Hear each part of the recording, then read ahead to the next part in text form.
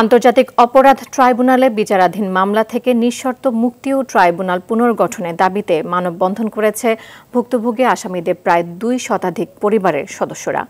তাদের অভিযোগ, শেখ হাসিনা রাজনৈতিক প্রতিহিংসা চরিতার্থ করতে নিরপরাধ ব্যক্তিদের মিথ্যা মামলা দিয়ে বন্দী করে রেখেছে।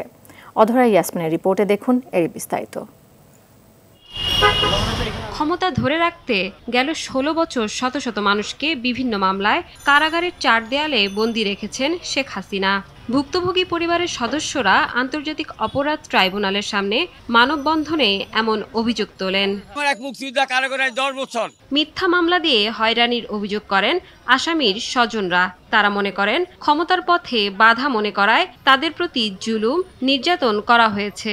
কিছু কুচক্করি মহল মিথ্যা সাক্ষী দিয়া বানাওয়ার সাক্ষী দিয়া মানে সাক্ষী আনি বানাইয়া বিচারের নাম প্রহসন করে এ হত্যা আমাদেরকে এই এই যুদ্ধাপরাধ মামলায় জড়াইয়া আজকে দশটা বছর আমাদেরকে নিঃস্ব করে দিয়েছে পরিবার। যুদ্ধ অপরাধী মামলা। তোমার বয়স তো নয় বছর বুয়া মুক্তিযোদ্ধারা এটা করছে এরম করিয়া মিথ্যা মামলা দেয়া আমাদেরকে হয়রানি করে জেল কাটাইতেছে। অনেকের অভিযোগ আওয়ামী লীগ বিরোধী রাজনীতির শিকার তারা। মোটা অঙ্কের টাকা চাকরির প্রলোভন দেখিয়ে মিথ্যা সাক্ষী দিয়ে সাজা দেওয়া হয়েছে নিরপরাধ ব্যক্তিদের। উনিশশো বাহাত্তর সালে জন্মগ্রহণ করছেন। বাহাত্তর সালের একত্রিশে আগস্ট ওনার ভোটার আইডি কার্ডে এটা তারপর হচ্ছে আপনার এসএসসি সার্টিফিকেট আছে একই জন্ম তারিখ যেগুলো ট্রাইব্যুনালে সব দেয়া আছে।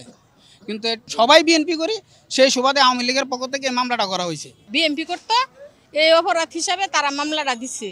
এটা গারো মেয়ে লইয়া একটা চক্রান্ত হয়েছে ওখানে লাশ করছে তিনটা। ওই গারো শরীর চক্রান্তে এই ইটা মিথ্যা মামলাটা দিছে। পাঠানোর পর আমার কাছ থেকে প্রায় অর্ধ কোটি টাকা নিছে। নিয়ে এই আর বাড়িতে হুমকি দেয় এই সেই করে বাবা থাকতে পারি না। ট্রাইব্যুনাল পুনর্গঠন করে নিরপরাধ সবাইকে মুক্তি দেওয়া উচিত বলে মনে করেন এই আইনজীবী।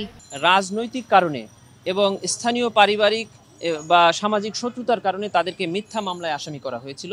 এবং সাক্ষীরা তাদের বিরুদ্ধে মিথ্যা সাক্ষী প্রদান করে গেছে। অতি দ্রুত ট্রাইব্যুনাল পুনর্গঠন করে তাদেরকে ন্যায় বিচার প্রদান করা। তারা বারবার বলছে যে তারা ন্যায় বিচার বঞ্চিত হয়েছে। আন্তর্জাতিক অপরাধ ট্রাইব্যুনালে বর্তমানে উনত্রিশটি মামলায় দেড় শতাধিক আসামির বিচার চলছে।